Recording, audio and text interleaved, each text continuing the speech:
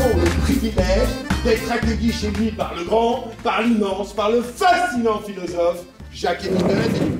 Bonsoir, maître. Maître, comme vous y allez, Jacques-Émile est bien suffisant. Alors je mets un thermomètre. Caméra, tu la mets euh, ici, là, à la place de la statue qui brille. Bah, un peu de respect. C'est un bronze de Belmondo. Ah Belmondo, j'adore. Oh, le guignolo, le magnifique. La grande vadrouille, la désolation.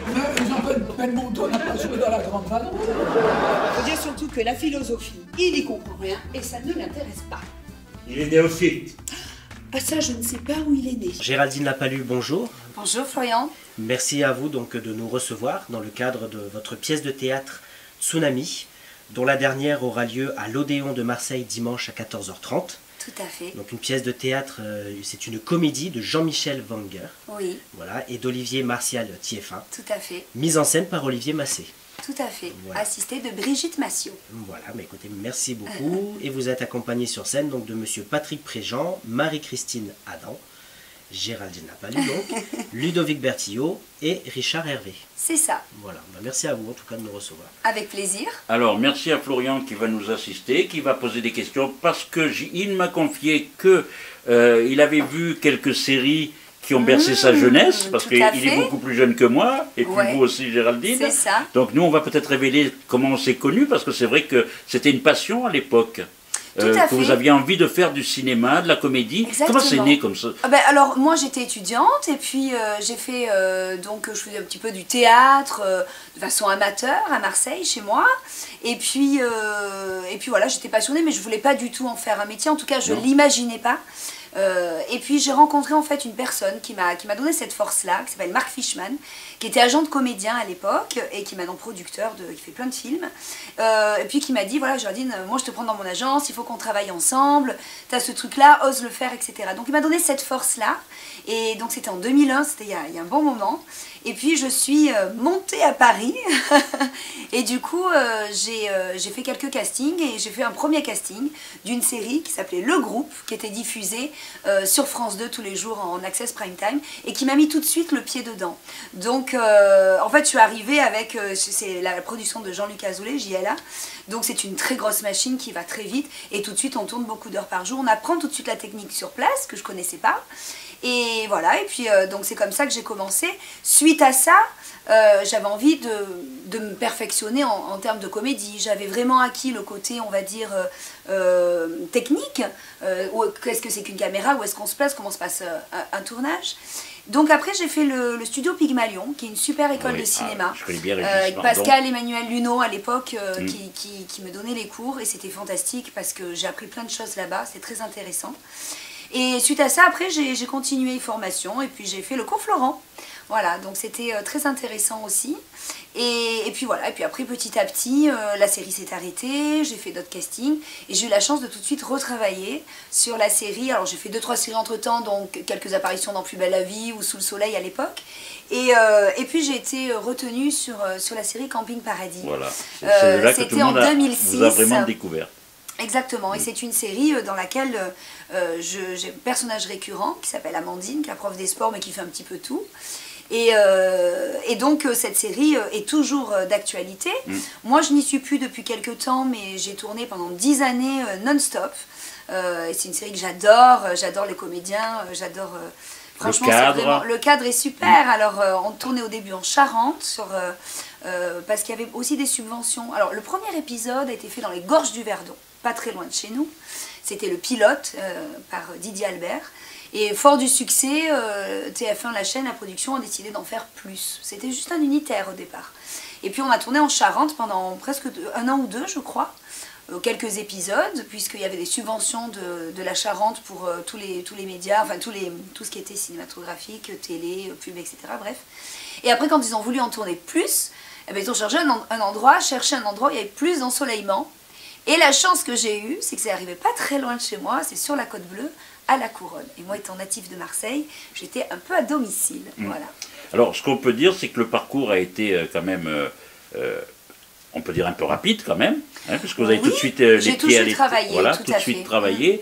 Et donc il y a eu le cinéma aussi, hein, par la suite, avec un premier film. À la légende de, de Florian Essic, qui est un Mhm. super film où il m'a offert un personnage. Euh, il y avait un personnage féminin, il me l'a offert. C'est très intéressant parce que le personnage était très différent de ce que je jouais dans Camping. Donc ça permettrait, euh, ça me permettait de, de pouvoir interpréter une aussi kiné, autre je crois, chose. non? C'est ça? Exactement. Hein? Et puis une petite histoire entre bien. eux. Il y a Mm. eu pas mal de choses. C'était intéressant à jouer. On a, on a, on a travaillé d'une façon assez rapide parce que c'est un film avec très peu de budget. Donc le temps était réduit, euh, tout le monde était là pour le film parce qu'on l'aimait. Et d'ailleurs, j'ai joué avec Patrick Préjean, que j'ai retrouvé totalement par hasard après, Voilà. sur la pièce de théâtre de Tsunami Et- dont nous allons parler. Donc Tsunami, c'est la première pièce de théâtre que vous jouez? Voilà, absolument. Tsunami. C'est quoi cette expérience de théâtre? Est-ce que Alors c'est fantastique. Voilà, donc, Voilà, euh, Pour moi, plus- Mm. c'est une révélation parce que alors j'adore euh, jouer à la télé, j'adore. euh, J'ai fait aussi un film là avec Bef, Pierre-François Martin Laval. Ah, le prochain Jeff film qui va sortir le prochain, voilà, j'ai un petit rôle dedans, Mhm. Mais euh, j'étais très honorée qu'il m'offre ce rôle-là. Et puis c'est un, une personne que j'adore euh, en tant que comédien, que Mhm. metteur en scène, qu'artiste de manière générale, il est extraordinaire. J'étais très honorée, et puis surtout d'être dirigée par lui, c'était, très agréable.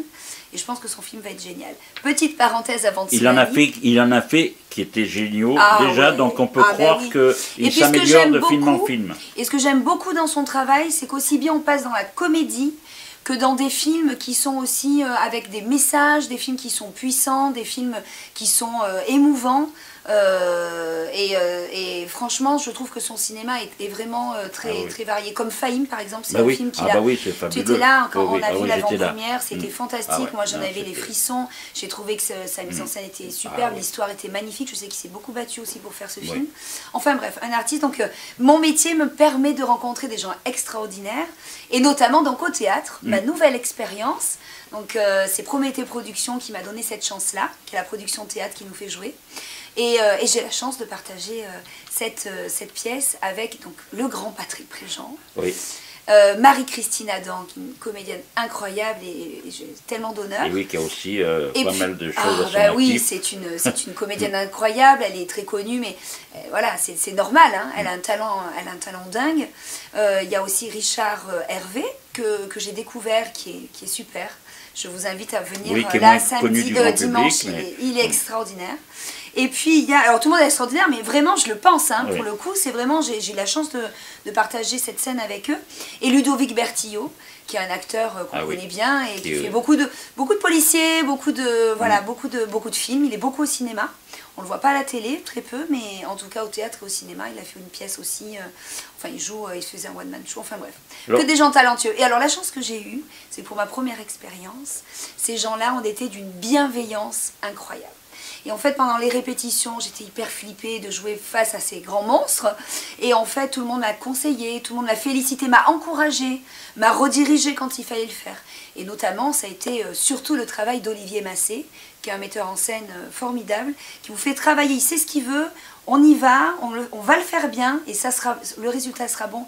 Et tout est dans la douceur. Donc il arrive à vous manier dans le travail d'acteur, comédien, avec euh, beaucoup de douceur, mais aussi de fermeté, qui permet euh, d'avoir une belle pièce de théâtre. Alors je vais, je vais juste faire un petit aparté d'une petite chose, mais qui a un lien avec la Oui. pièce et, euh, et, le, et l'entretien que l'on fait, parce que dans la pièce, il est question euh, de journalistes qui viennent faire une interview, et en même ça. temps, euh, il n'y a aucune, euh, il n'y a rien qui est toléré, aucune bavure, il faut que ce soit impeccable. Ah ben, Alors j'espère que vous n'allez pas nous juger de la même non, façon. non, mais en tout cas, nous on Mais est habitués, donc il n'y a pas de souci. Vous n'êtes pas comme les personnages de Voilà. la pièce. hein. Avec vous, ça se passe beaucoup mieux. Vous allez voir dans la pièce, Oui. tous ceux qui, ont, qui vont venir nous voir sur scène, ça ne va pas du tout se passer comme prévu. Ça va être rocambolesque. Oui. Ça va être un tsunami. Rien que- voilà, rien que le titre, Voilà, on a ça veut tout dire. Ouais. C'est surtout en termes d'état d'esprit. Mhm. Dans un film, on fait plusieurs prises et quand on voit le résultat final au cinéma, c'est la prise, c'est fini, c'est propre.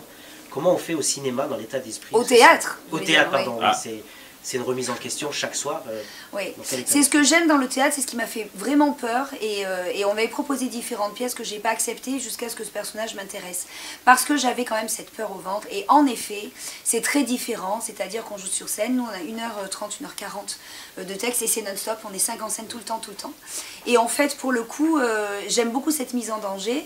Alors, il y a la bienveillance, c'est ce que je disais, des autres comédiens. Parce que, évidemment, chaque soir, c'est différent. Parce qu'on joue d'abord dans une salle différente. avec un public différent, dans des régions différentes. Et puis parfois, on n'est pas tous au même. euh, Diapason. euh, voilà, exactement. Donc, L'humeur euh, peut changer de jour en il se jour. peut, alors on, on reste comme fidèle au texte et Bah en oui. plus c'est ce qui nous permet chacun d'avoir les tops pour les uns et les autres pour démarrer aussi notre texte, donc c'est important de l'avoir ainsi que les, les mouvements que nous allons faire, tout ce qui a été faire la mise en scène justement par Olivier Massé. Et euh, mais du coup voilà, il y a ce côté-là qui est très intéressant parce que chaque fois c'est une nouvelle aventure, ça fait toujours peur et puis quand on finit, alors on arrive quand on a des petites erreurs, parce que ça arrive à chaque fois évidemment, à se rattraper les uns les autres. Parce que maintenant on a joué comme cette pièce beau- beaucoup de fois, Combien de fois? Oh, je crois euh, plus de 25 fois. Euh, après, on a été coupé par le France, on était aussi en Suisse. Et on a été coupé par le Covid Eh oui. à un moment, donc euh, ça a été un peu, euh, voilà, de façon épisodique. Et d'ailleurs, on a fait quelques dates qui étaient des dates de report euh, dernièrement. Et puis l'Odéon est arrivé comme une, une cerise sur le gâteau. Et oui, alors, la dernière à suis- Marseille, dans la ville natale, c'est quand C'était même. pas prévu, et puis voilà, la dernière, après cette belle et grande tournée, à Marseille, chez moi, dans ma ville natale, dans notre théâtre municipal de l'Odéon.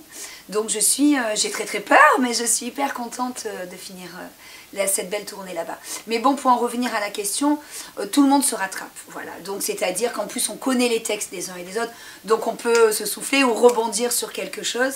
Après, il faut essayer d'être le plus proche du texte possible et de la pièce. Pourquoi? Parce que dès qu'il y a un petit manque, ça casse le rythme de la pièce et ça on le sent assez rapidement. Parce que vous avez le retour du public pratiquement. Tout à fait. Et puis, ça fonctionne aussi, euh, tout, tout- tout- toute cette histoire, elle fonctionne aussi, il faut que ce soit rapide, et c'est des, quiproquos, des gens qui ne se comprennent pas forcément, donc il faut que ce soit assez euh, réactif. Mais bon, je suis avec de grands acteurs et en général, euh, ça se passe plutôt bien. Votre personnage, qui est-il? Alors euh, moi je joue euh, Sandra, euh, c'est l'assistante du, du caméraman, enfin surtout du journaliste on va dire, qui prépare ses fiches. Et donc elle vient, au- elle vient au- chez ce philosophe. Donc en fait lui prépare son, son- son prochain livre de philosophie avec sa femme et il reçoit cette équipe de, de télévision chez lui pour parler de, de son livre. Et en fait donc il y a ce caméraman qui est euh, lui euh, très sympathique, un peu gaucho. euh, et puis on a le journaliste qui lui est un bout en train, un peu jet set, assez imbu de sa personne. Et, et elle qui est là, qui a l'air un peu naïve, parfois peut-être un peu bébête, mais qui finalement on va comprendre qu'elle n'est pas là par hasard. Et, euh, et donc toute la pièce, il se passe plein d'é- d'événements et de quiproquos entre tous ces personnages-là qui n'ont rien à voir les uns avec les autres. En même temps, ça fuse de tous les côtés, on s'ennuie pas du tout. Et à la fin, il y a un dénouement euh, que je ne vous dirai pas parce Ah bah que non. vous allez venir Ah bah nous voir à l'Odéon, qui est vraiment, euh, on s'y attend pas. C'est un raz-de-marée, on peut dire. C'est un raz-de-marée, c'est un tsunami. Oui, voilà. Et de la part, en fait, c'est une finalité de, de tous les personnages qui est assez différente. C'est pas simplement le dénouement de la pièce, c'est on va apprendre plein de choses et, et ça va être assez drôle. En tout cas, nous, on rappelle que la, la dernière, donc c'est ce dimanche. Dimanche, Voilà. le 4 décembre, à l'Odéon, à Marseille. Voilà. Il y a encore des places 14h30. disponibles Il y a encore des places Ah, disponibles. bah. Vous pouvez acheter vos places en allant sur le site de l'Odéon directement, en ligne. Vous choisissez vos sièges qui sont numérotés et vous prenez votre billetterie en ligne. Ou alors, vous pouvez carrément appeler le- l'Odéon et par téléphone, vous pourrez réserver vos places. Alors moi, je voudrais revenir sur euh, un côté cinéphile un petit peu. Oui. Euh, même si ce sont des films grand public dans lesquels euh, Patrick Préjean a joué, euh, il y a quand même une filmographie assez impressionnante. Est-ce que ça a bercé votre enfance Ah ben, bien Jouer sûr. avec Belmondo, avec Brigitte avec Bardot. Beauville, euh, avec euh, De Funès, c'est complètement incroyable. Et puis, euh, je, je, je lui ai dit la dernière fois, j'étais surprise, parce qu'il y a toujours des rediffusions de ces grands films Eh qui, oui. sont, qui font partie du patrimoine français. Et j'ai vu la dernière fois encore Les Gendarmes, et je voyais Eh mon oui, et Patrick. Préjean il n'y a pas longtemps. Ah, il, a, il est toujours très bel homme.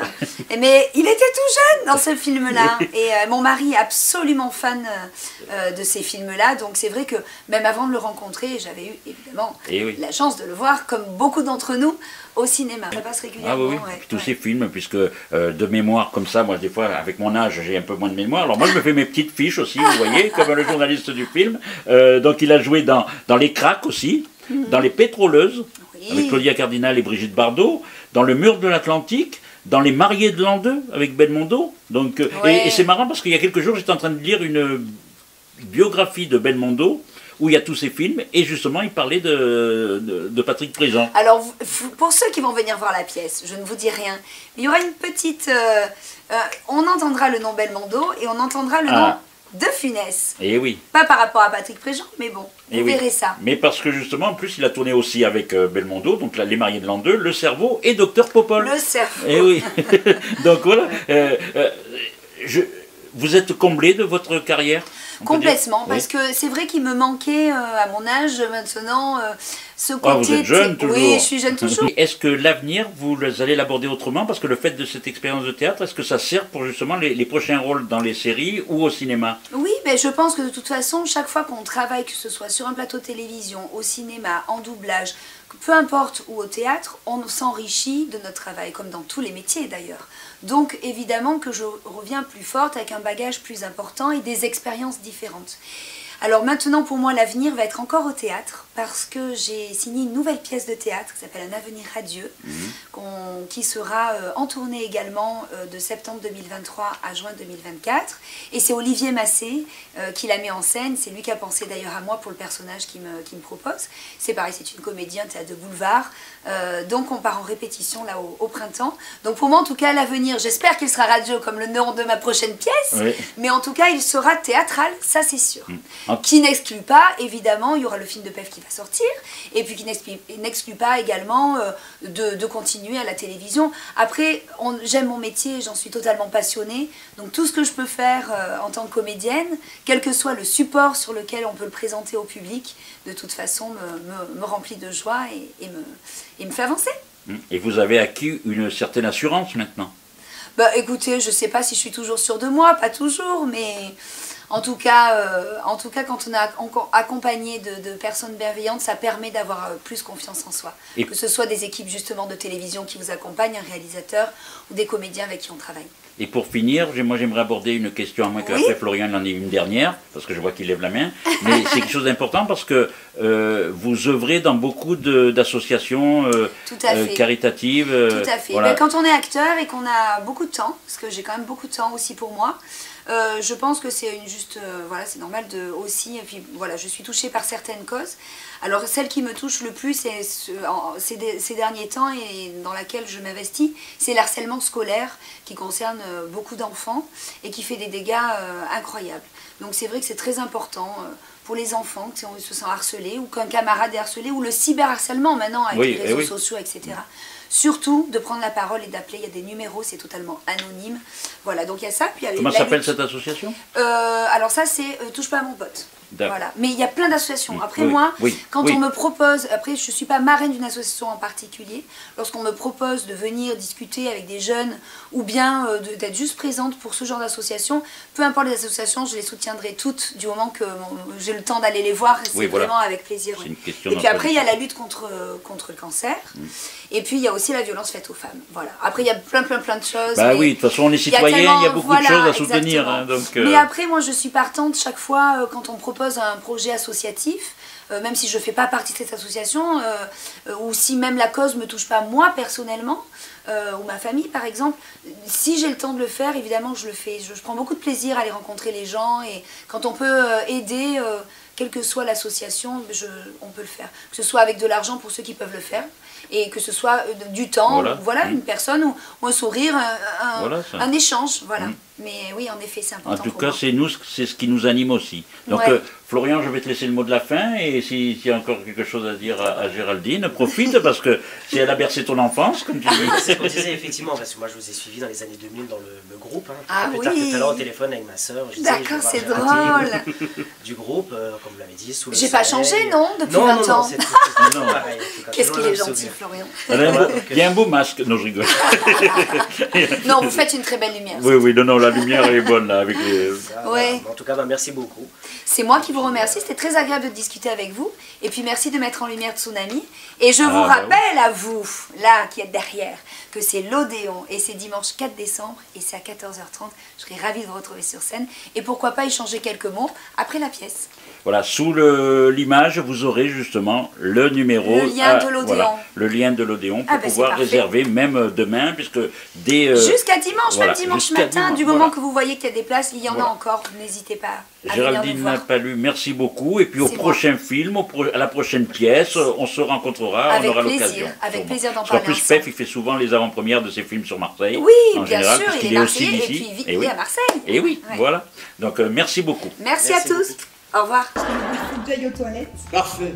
Parfait, je vous rejoins. Vous me rejoignez. Ce sera très rapide. Une espèce de préliminaire en quelque sorte avant de parler de mon actualité. Vous savez que le scorpion calme ses angoisses avec le sexe. Ah, bah Jacques-Émile, il est pas du tout angoissé.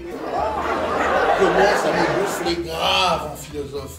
Parce qu'entre nous, le seul truc qui est à gauche ici, c'est l'appartement quand on arrive sur le palier. Alors comme ça, c'est vous le, le grand philosophe de gauche? C'est un reproche. Pas du tout.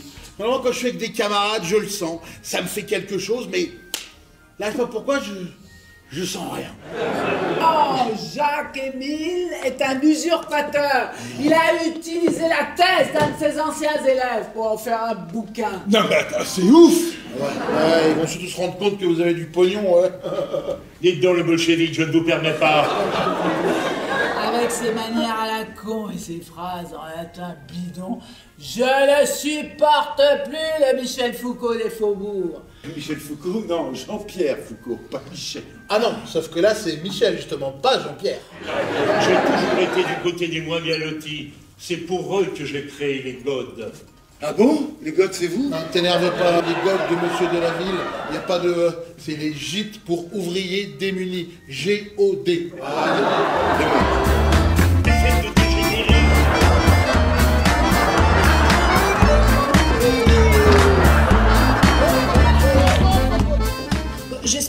rester dans le noir trop longtemps. Moi, j'aime pas l'obscanturisme. De toute façon, ici, dès qu'on mange la télé et un sextoy en même temps, tous Combinaison polo, il y a Andy sous roche. Aiguille sous roche. Il paraît très même qu'on peut dire anguille sous roche, mais j'ai pas de preuve.